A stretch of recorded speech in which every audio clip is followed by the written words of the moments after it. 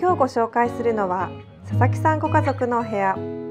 築41年67平方メートルあるマンションをフルリノベーションしました。広い LDK に箱型の寝室と浴室を設置。自由な発想のワンルームが完成しました。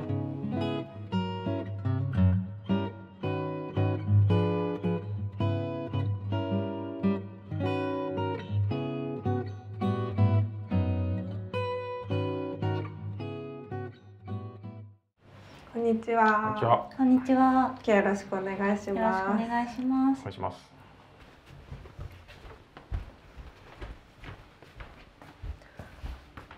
すごい広い空間ですねはい。ここは何の空間ですか？ここはあのリビングとダイニングキッチンとまあワークスペースうんだったり子供の勉強部屋だったりもう本当に生活の中心となっている場所です。すごい長いですね。長いです。どれぐらいあるんですか？と4メーター50センチぐらい。すごい。この辺がキッチンエリアで、うん。ここはあのちょっと一段下がってるので、ちょうどこう高さがテーブルの高さとキッチンの高さがフラットになってる感じで。はい。なるほどね。ちょっと私もこっち行っていいです。か、はい。本当だ。ここに行くと少しこう、下がってるんですね、一段下がってます。あ確かに目が合いますね 立ってる人と。キッチンの高さだいたいきあの85センチとか90センチなんですけど、机の高さがだいたい72センチとかなんで、まあそこでかなり差が出ちゃうんで、まあその時にそれを下げることでこう視線が合うような形。なんかよくこういう対面の時って少しこうスツールっていうか高い椅子を使う人が多いイメージあるけど、これだとすごくナチュラルに、そうですね。うん、目線が合いますねはい。ここはどんな時に使うんですか、ここも食事をしたりちょっと家でやると時とかにや使ってます。なんかこの距離感がいいですね。そうですね。なんか近すぎず遠すぎずっていう感じで、うん。だいたい1メーター15センチぐらい今幅っていうか奥行きがあるような形になってます。これ取ってあの下にコンセントが本当だ。取れるんだこれ。はい。じゃあここにこうコンセントとか携帯の充電とかを。ね、はい、挿しておけるような。えすごい便利ですそねの。アナログな方法なんですけど、スキスリットを作ってます。はいカフェみたい。あ、まさかの衣類が入ってるんですね。そうなんです。普段使ってない季節のものだったり、あの旅行カバンだったり、そういうものがたくさん入ってます。ちょっと冷蔵庫の寸法に合わせて奥行きが深いので、あの後ろにもちょっと棚があって、うんうん。そこにもあのぼ帽子だったりいろんなものが入ってます。なんかこれが一個何個分あるんですか？ここれが4つですね。こと、はい。こここと。そうですね。こっちも布団とか、あ、なんかあの本当だ。洋服とかちょっといろいろ入ってます。あの食器類とかじゃないんですあね。、はい。食器はこっちの小さいやつなんですけど、うんここちょっと後ろに柱があるんで、あちょっと浅くて、ここが食器ですね。本当だ。ちょっと倉庫を作るまでじゃないんですけど、ここの収納でたっぷりあのいろいろしまえてる感じです。なんか本当大きいから家族三人ゆったり座れますね。あ、そうですね。もう寝れますね。本当に本当ここで寝れそうゴロンって。寝れます。通常の多くのフローリングをちょっと張り方を斜めにして、割りあのちょっとあのアクセントをつけてるような感じです。あ本当だ普通の貼り方してるけど、かなりなんか印象変わりますね。そうですね。全然印象違いますよね。はい。この壁はなんでこのフローリングと同じにしたんですか？まあ、あのあちらの方の壁とこちらの方の壁っていうのがあの木の壁になっていて全部こううん。目地がつながっているような連続性なるべくこう持たせたいなと思っていたので、えっと、今ちょっと細かいんですけどこう目地が全部通ってるような当たったら折れるような感じで。本当だ、うん。本当ですね。すごい細かいこだわりですね。これ大工さんめっちゃ大変なんて言うってましん、大変。そう角度がね 揃えなきゃいけない。確かにこれがあることでなんていうか床壁っていうなんかは,、うん。はっきり分かれるんじゃなくてた。うん。こうなんか全体に包まれる感じがありますね。そうです。こう連続するっていうかそのシングレスにこうつながることでこう、えっとうん。逆にまあ広く見える効果みたいなのもあるかもしれない。うん、広く見える、あのラーメン構造でちょちょっと外周にうん針があるところに本棚をつけてまして、あの飾りたい本とかがあのずーっと上に置けてます。確かにこのマンションの端っこってやっぱ出っ張りが出ちゃうけど、これつけることで出っ張りの印象すごい薄まりますね。あ、そうですよね。はい。私この下に置いてる棚も、うんこうその梁に合うようなベンチとかを置いてるから、それもすごく馴染んでますね。ここに収納を作っていて、あ、隠しす扉。ごい隠し扉になってますね。はい。で、あのコンセントが中にあって、あとゲームとかハードディスクとかあのそういうものを後ろに入れてます。ちょっとこのテレビの周りの雑多になっちゃいそうなものがこの中にしまってるんですそうね。ですね。はい。かなり奥行きあるからいろいろ入りますね。いろいろ入ります。あとあのエアコンのドレーン管も入れてる PS みたいな役割もあります。この木の箱は何ですか？この木の箱はお風呂になります。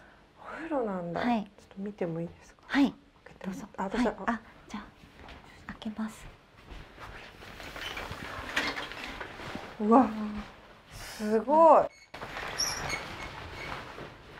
すごい、もう廊下にそのままうん、お風呂がくっついてるんですね。そうなんです。ドアなしなんですか？ドアなしです。こう家から帰ってきてそのままこう脱いで、ああーってお風呂入る感じで。すね。なんかあのお風呂ってまあやっぱり家の中で閉じちゃう場所なんですけど、あの結構まあマンションで面積が限られてる中でお風呂もリビングと一体としてうんなんか一部としてんあの捉えたいなと思ってそれでもうオープンにうん。見せるお風呂みたいな感じにしました。えじゃあここに入りながらうんこうテレビ見るみたいな？あ見れます。すごい。見てます。じゃあソファーとキッチンだけじゃなくてお風呂からもテレビそうですね。結構どっからでもテレビ見れます。奥にレインシャワーがあって、はい。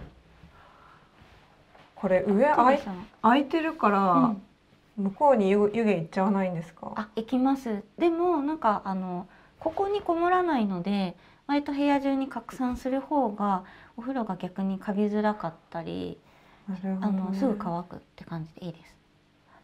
あの結構厚めに45度ぐらいで組んで、あのガッと温まって、で次冷水を浴びてとか そのそういう感じ。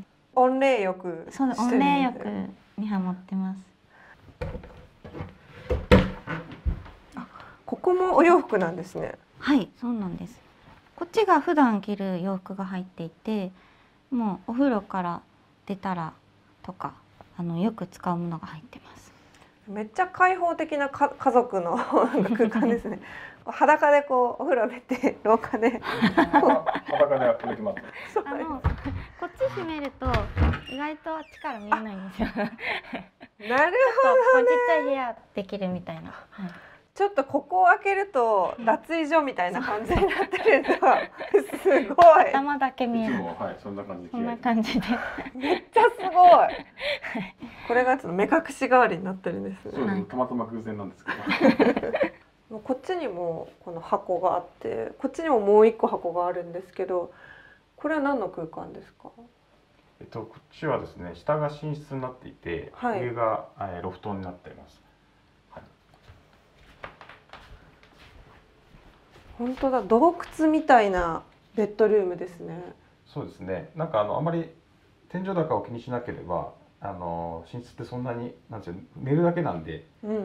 あの低くてもいいかなってことで低くしてます。窓があるから日差しが結構入りますね。そうですね。あのそっち側の、えっと、西側なんですけど、まあ昼間はあの朝はあゆるゆるい光というか、まあ直射日光ではないんですけど、こう柔らかい光が入っています。ここにスクリーンがあって、すごい。え、これはなんでなんですか？あのまあこっちのスペースとこっちのスペースを音とか、まあ、光とかちょっと遮るっていう役割とあとプロジェクターのスクリーンなんであのベッドから映画を見たりテレビ見たりしてます。あじゃあ向こう側にプロジェクターがあるんあです、ねそうなんですあっちにプロジェクターがあってちょっと上げてもらって、なるほど。ここのプロジェクターでうん。投影させて投るんだ。影させてます。でもここが映画館になってるようなえー、面白いですね、はい。もうここ閉めちゃってプロジェクターで映せば完全個室になる。そう完全個室です。じゃあこれちょっと見てる時にトイレ行きたかったら一回こう上げて。あちょっとくぐったり。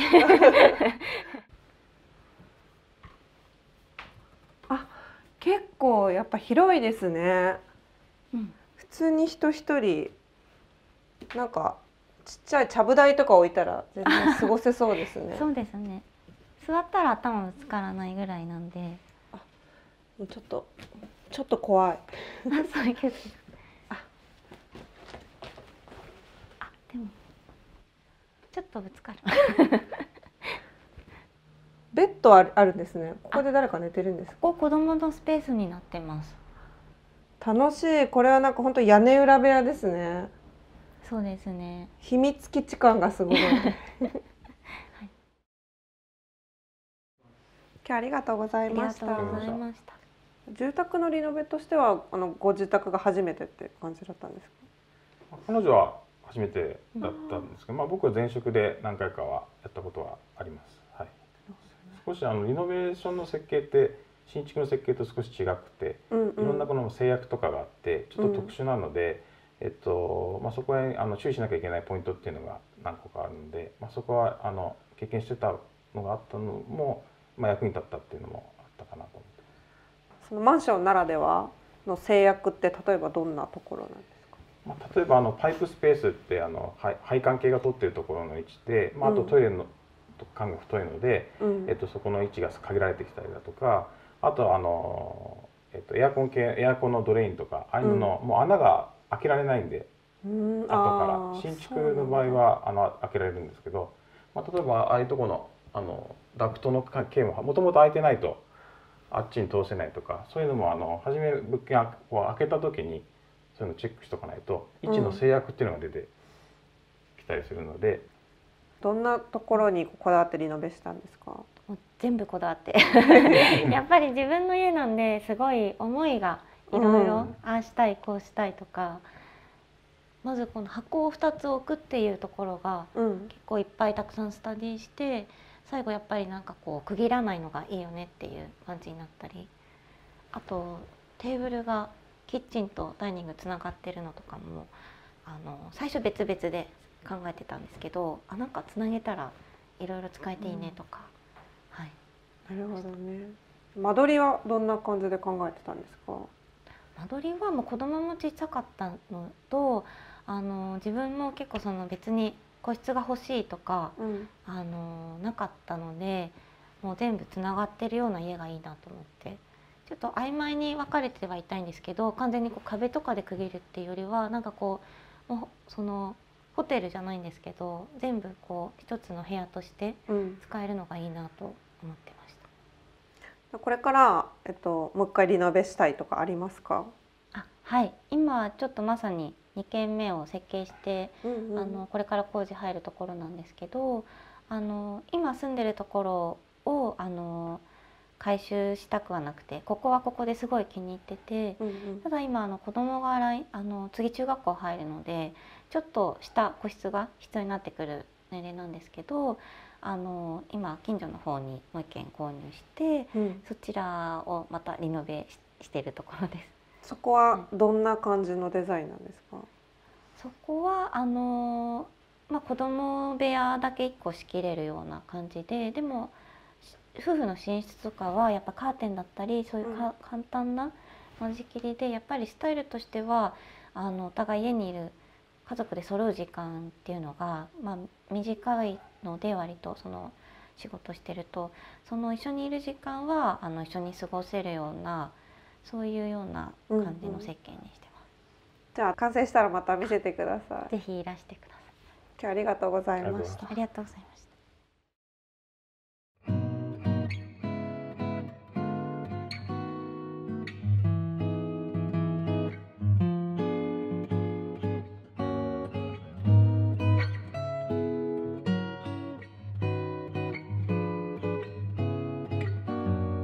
のチャンネルではこれからも素敵なリノベーション物件をご紹介していきます。またウェブサイトにも YouTube では見られないこだわりの物件をたくさん掲載していますのでぜひご覧ください。そしてチャンネル登録とグッドボタンよろしくお願いします。